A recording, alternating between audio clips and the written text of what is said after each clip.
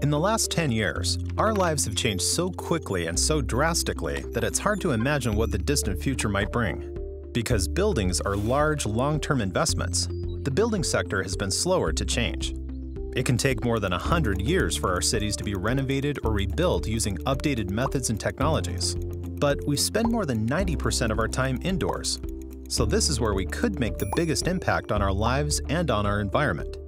To get there, we must start to conceptualize what the functions and capabilities of these future buildings could be today.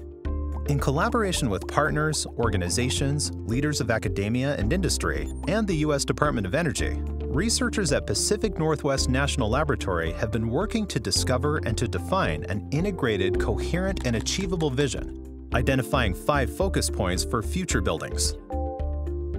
Just as personal smart devices have found their way into every region and demographic of the world, the market for personal environments will expedite the evolution of future smart buildings.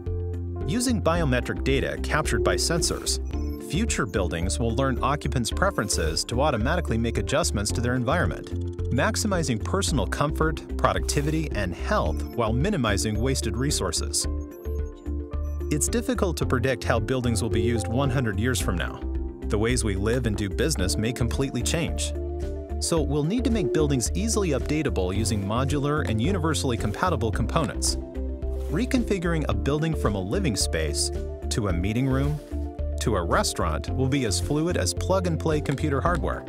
High-tech materials used in these buildings' exterior surfaces will collect water, generate and store power, control light levels, regulate temperature, and filter air by the building's skin or envelope taking on these functions, buildings will rely less on electrical and mechanical systems to create a pleasant indoor environment.